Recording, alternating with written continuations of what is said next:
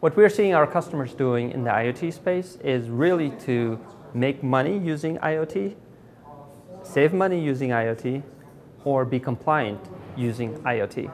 Our job at Verizon is to really make it easy for customers to deploy IoT solution, to remove any of the friction that is associated with IoT solution.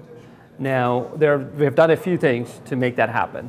Number one, we have certified an enormous amount of uh, devices to make sure customers are able to use a wide variety of devices that can get on the network.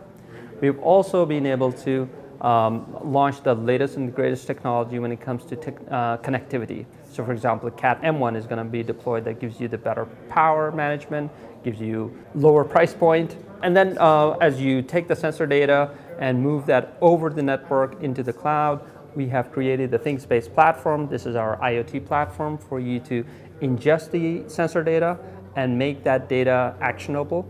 And in addition, once you have deployed hundreds or thousands of devices or hundreds of thousands of devices, we're able to manage those connectivity being able to activate devices, deactivate devices, being able to um, look at how much data is being consumed by those devices, and then being able to uh, do firmware patch and, and do device management right from a single pane, uh, and that's I, uh, ThingSpace platform. So beside developing this large ecosystem of technology and partners, one of the other things Verizon is doing is adding vertical solutions on top of our platform and our connectivity. So for example, we are deploying solutions in the smart uh, cities uh, area. So smart lighting, traffic management, smart parking solution. We're also going after certain verticals where we see a great need for IoT solutions. So for example, in the smart grid space, in the uh, utility space, uh, in smart agriculture, uh, ag tech is a great focus. We're seeing certain crops where smart agriculture and being able to monitor the irrigation and the humidity level and the weather, uh, incorporating the weather information into, um, into a particular farm, those high-end crops, we, we, we see value in that. Uh, there's also the share economy. You see more, more and more people are not just using the assets that they have, like vehicles, um, but being able to uh, share those assets. Um, and that's a new economy, and we're, uh, we're enabling that. Last but not least, one of the uh, great area of focus for us is uh, fleet management telematics.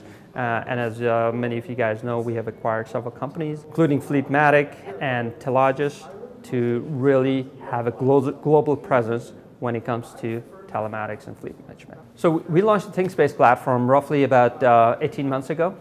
And uh, one of our biggest focus with ThingSpace Develop was to reach out to the developer community, make it easy for them to create their solution, to create that, to go from that ideation phase to a prototype phase. So we're making RESTful APIs, we're making dashboards available for them to ingest sensor data and making that sensor data actionable. We have over 15,000 developers currently, and we are participating uh, in a number of different hackathons and developer workshops and developer education to ensure that the intelligence and the creativity that the developers uh, bring to this market, we can make it easy for the developers to use the IoT uh, technology to take their idea and turn it into a prototype and then obviously uh, to full production. So for example, we were at South by Southwest a couple of weeks ago, right here in Austin. Uh, we, we made our APIs available and um, some of the uh, developers and hackers came up with some incredible ideas that typically we would not have thought of, but being able to harness uh, these developer communities, we're able to bring those ideation into the fold of ThingSpace.